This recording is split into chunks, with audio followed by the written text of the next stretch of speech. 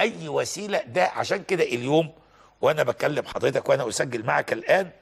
الآن وصل عدد المتوفين إلى هي 148 148 148 و92 مفقودة. لا انخفض العدد الآن إلى 86 86 يعني قبل دخولي للتسجيل مع الستة اللي حضرتك ارتفعوا من هنا انخفضوا. انخفض ليه؟ لأن دول اللي بنلقى معاه البيانات أي شيء يبين هويته أو التعرف على صورته يبقى أول حاجة إذا أي متعلقات حتى لو كان لابس ساعة خاتم أي حاجة يمكن أن تميز شخصيته بتتصور معاه.